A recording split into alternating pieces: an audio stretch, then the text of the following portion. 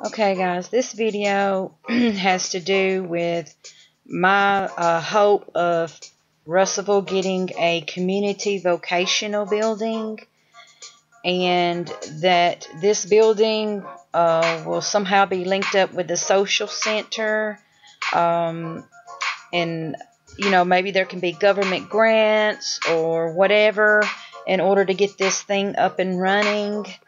Um, and basically, this will be for people in the community, regardless of their age, who, for some reason or another, either can't or don't want to go to college to learn these skills. Um, but, you know, they would rather just, you know, take the training, you know, through the community. And whether or not any of this could be accredited or anything like that, I don't know. Uh, I don't know how all that would work out. but it could still be something to where they can get a certificate to prove that they went through the course and all that stuff, and it may help them uh, get a job. And there may be ways to link this up with, uh, you know, certain jobs or whatever, maybe some factories or whatever that move into the area that, you know, require their employees to learn these skills. Maybe there's some way, you know, this can be all linked up. I don't know. Um, but, you know, regardless, I, you know, I do hope that this can be become a reality.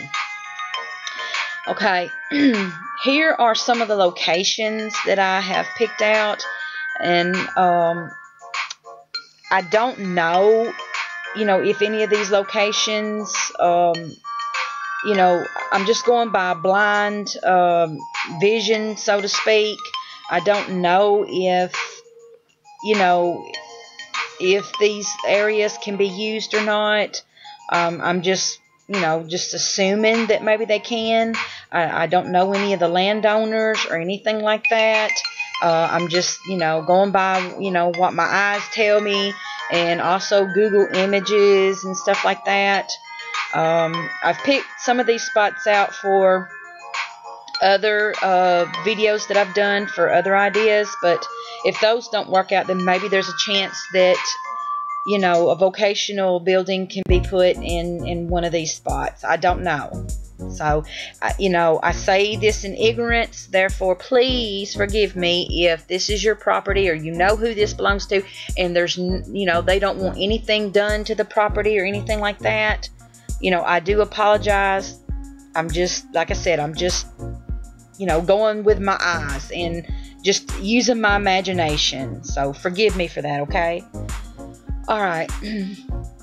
so here's just some suggestions and just some ideas uh, of some things that can be put into the vocational buildings. At one end, you know, there can be an area for welding, place for metalworking, uh, automotive, uh, woodworking, including cabinet making and furniture making, home building and construction, and electrical, and maybe even glass making and ceramics, that type of thing, where you have, you know, where you get really deep into you know, ceramics and all that stuff.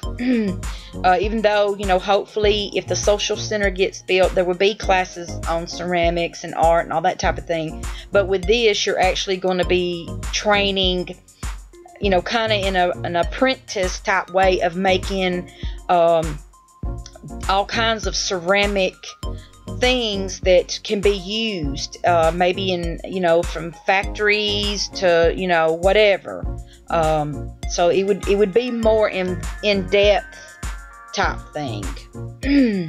so and and of course naturally at this end you would need uh, you know garage type doors for some of the classes because you know especially like with automotive and woodworking and all that type of thing you know you're going to need uh, a big enough area for uh, an automobile to be driven through uh, and that type of thing. Also, you know, you would want good ventilation and all that. So I think, you know, in, in that end of the building, definitely you would need garage doors that raise up and down. Okay, and then at the other end, there can be things like cosmetology, you know, dealing with hair, makeup, nails, that type of thing. um, instead of someone having, you know, to go learn this in college, they can be trained, you know, here in the community in Russellville. Okay, also maybe some type of medical training. Maybe there's a way that people can, you know, either maybe get their CNA type thing or some other type of thing. I mean, I don't know. I know they got they had uh, a thing at uh, school back when I was going to school to where uh, people uh, were taking it at the vocational building. They were learning uh, about medical stuff and all that. So, you know, maybe there's a way that, you know, th- this can happen with this. I don't know, but uh, it's just an idea.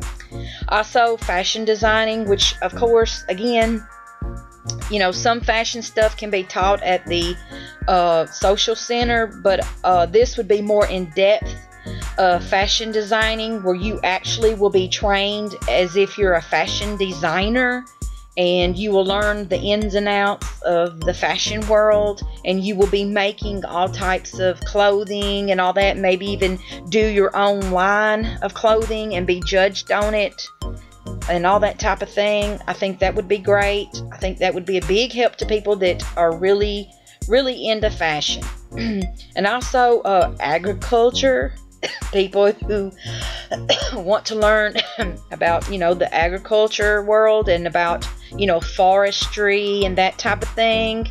They really want to get trained in that area. They might want to get a job, you know, within that. So maybe, you know, this would be good for them. And of course, this is how I envision the building to look. So I, I, really hope people like this idea because I, I think it would be really good to do this. I mean, some people may think it's too much, but I don't. I think that, you know, people around here want some type of extra tra- uh, training and they kind of want things to be spiced up around here. Uh, so much seems so stagnant uh, jobs seem to be stagnant. It's the same old jobs, and it, you know it's like the same old thing. And people are getting sick of the low pay. Uh, a lot of people have not got their paychecks raised in years, and it's time for a change. It's time for people to get retrained, learn new skills, and hopefully get better jobs. And hopefully, better jobs will come here. Once people get trained and everything, maybe more businesses will come here and you know, want to uh, put a plant here or a store or whatever, whatever the case may be. So I think it's very needed and very necessary for us to do this. I really do. And let's state the obvious. It would make Russellville look good. I mean, it would show, you know, other places that Russellville is really trying. So I think that would be a good thing.